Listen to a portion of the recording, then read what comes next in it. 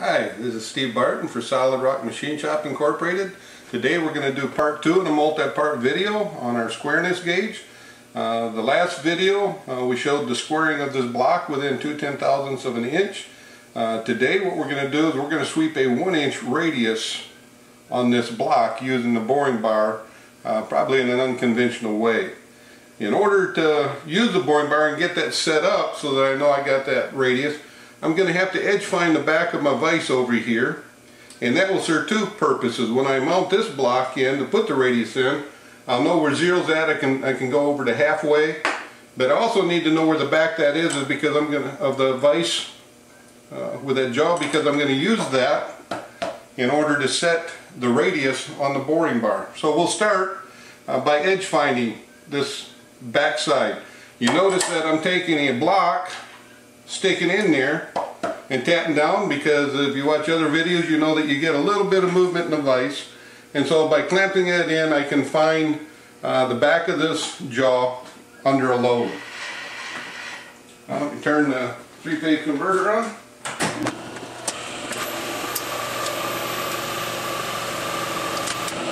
This diameter right here is 200 thousandths. I touched off. I'm going to move over 100 thou. Reset my digital to zero. So I know the center line of my spindle now is on the edge of this jaw.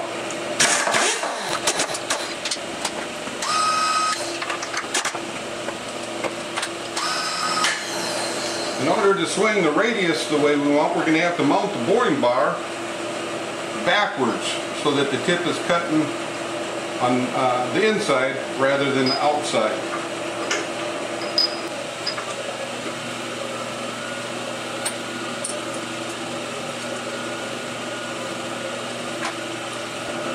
Next thing we want to do, we want to have a one inch radius. I know the center line of my quill is on this edge of this vise.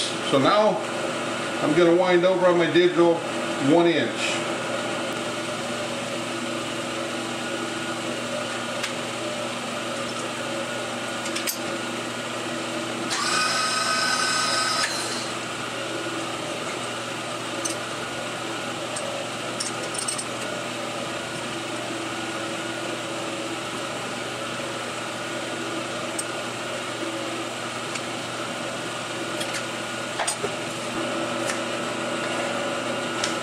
Right now I have the tip where I can eyeball it. It's very close to this edge. You take a piece of paper now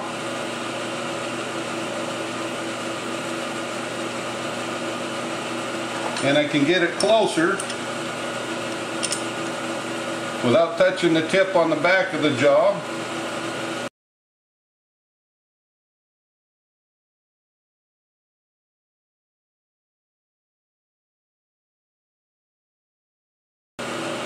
You have to do is you have to pivot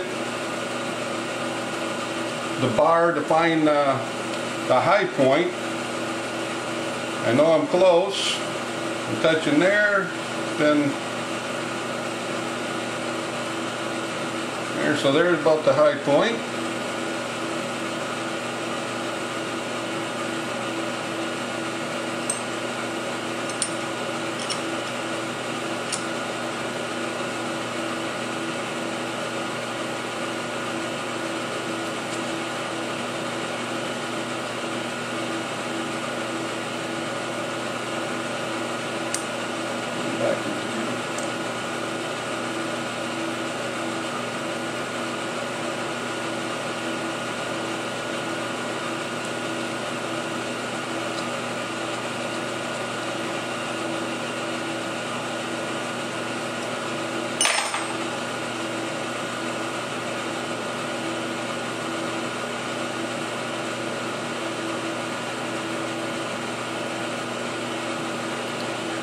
Right now I can feel the paper drag on the tip of the boring bar.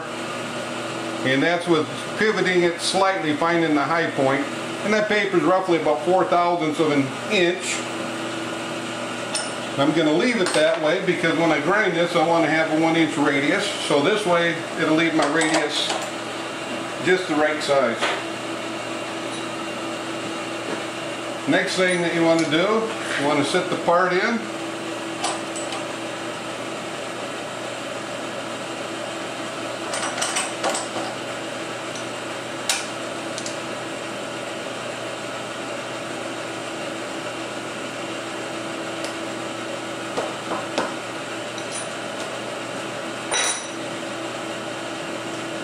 I have to move back now to the center line of the block.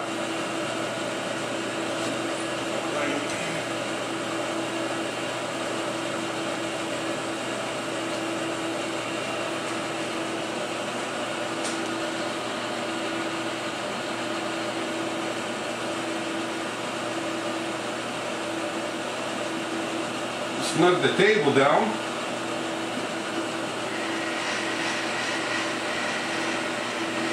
wind over and then you can eyeball it. You just about have the corner. Actually we're going to wind into it and set our Z first.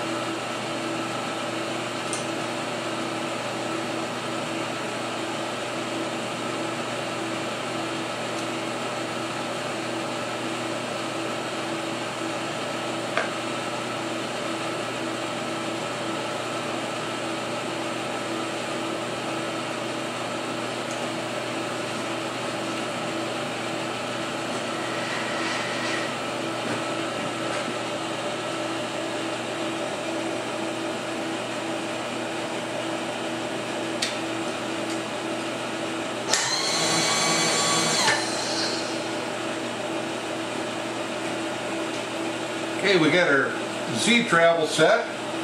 Now we can wind up until we pick up just about on the corner of the part. Just uh, a note of caution, if you use your boring bar and use it in reverse, uh, this boring bar actually is attached by a thread arbor. It's threaded into uh, the boring head.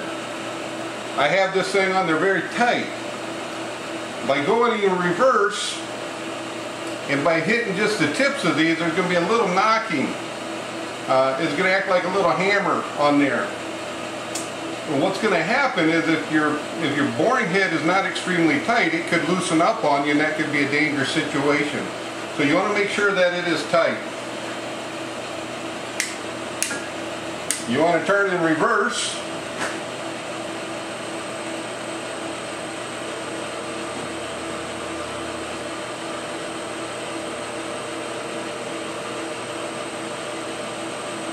and you can come down.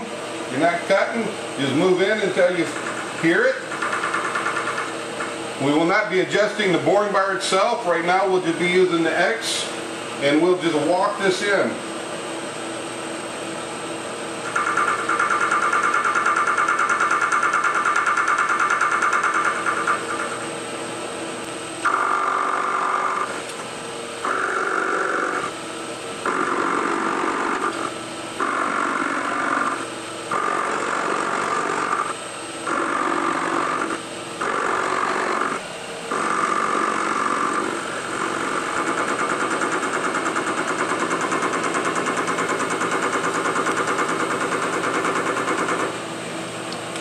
There, we have the full radius cut on the part now.